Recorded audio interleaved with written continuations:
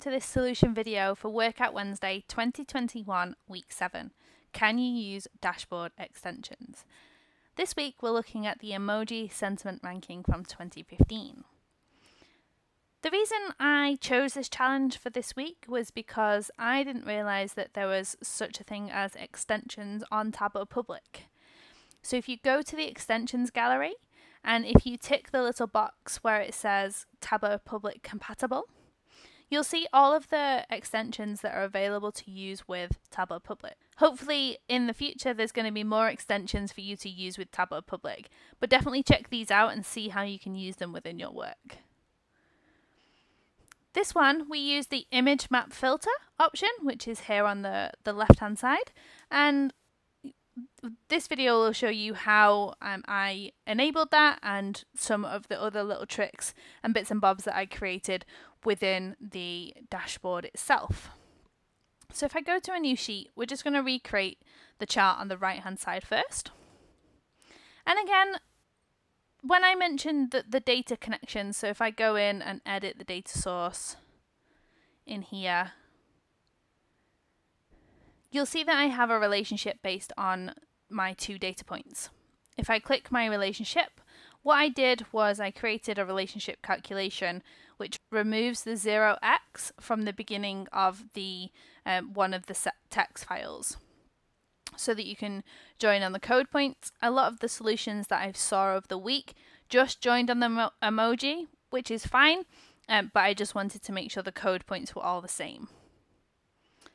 So to start with, I just dragged the emoji onto my view and also used the name as well so that we could see what exactly each one of these things were called. I then also used the group functionality. So once I click all in here, um, some of them do disappear, but that's just because we wanted to keep the subset that's in our original data set. Now what we can do here is we can add in the uh, number of tweets. So if I just add that in, change that to discrete, and let's sort the emoji by the, the field itself. So we have our top one over here. I then created three calculations. So if I just have a look at what's in this, it's just the sum of positive tweets um, versus, uh, divided by the sum of the number of tweets. So we can add that into our view. So I'm just going to, um, sorry, drag and drop that to columns, drag and drop neutral on top, and then also negative as well. And then move my measure names to my color. So here you can see we have our full percent of total. I can then change these around a little bit. So we want um, positive to be at the top, followed by neutral, followed by negative. And then finally, it's just the position of the, the tweet itself. So what I did was I used the average of 1 on my secondary axes.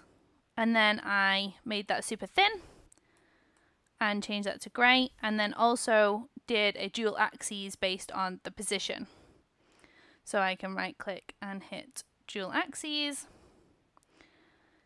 change the average of 1 back to a bar, and change the measure values back to a bar as well.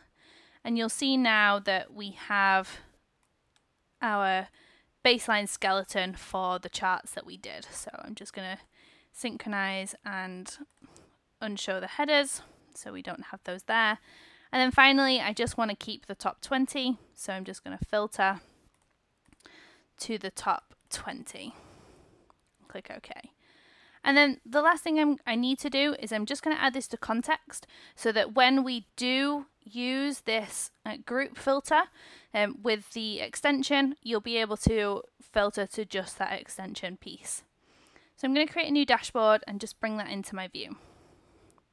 I'm going to go into my extension option and drag that in as well. And this is where you'll be able to find your own extensions. So I'm going to find my extension which is inside my Tableau repository in extensions, and then we have the image map filter here. So I'm going to click open. With this, it asks you to choose an image. So again, I'm just going to go to my image. So I have that there. I'm going to tell this extension which which dimension I want to use and which sheet I want to apply it to. And then when I click OK, you'll see that um, we did add uh, the sizing so that we could play around with it a little bit more. But essentially, all we needed to do here was draw around the specific elements. So you could either take the drawing tool and draw around specifically each one of the elements and then pick which thing it belongs to. Or you can draw a square so it's a little bit more uniform and you can go through and do it for each one of your elements. So I'll quickly do this.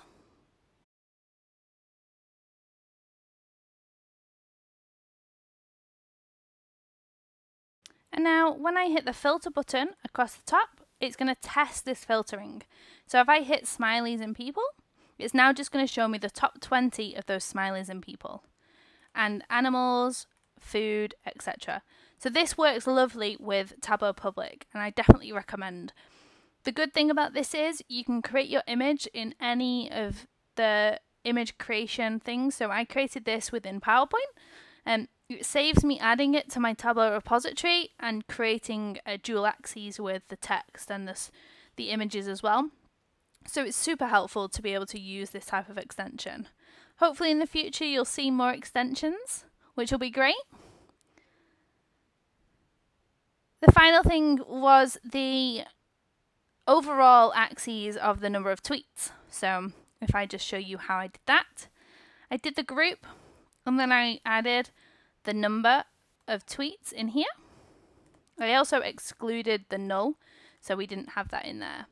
But notice how on my dashboard, these are rounded. So what I did for that was I actually used a trick which is the average of zero. I created a shared axes and moved my measure names to detail. I then changed it to a line and put my measure names on the path and upped the size. So when I up the size, you'll see it automatically creates that rounded bar chart on my view. I can then add my group to my color and you'll see that this creates that rounded bar chart.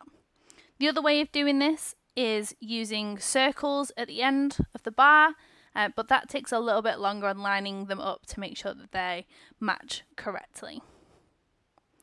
The final steps would be to just bring them all together into the view and create the seamless um, seamless tableau that we, we know and love with our dashboard sizes and things like that. So so definitely take a look at the the rest of the solution and hopefully you've learned something new by using um, extensions. So thank you very much and I'll be back soon. Thank you all, and if you enjoyed this video, please check out some of the other solution videos for some of the other Workout Wednesdays. Thank you!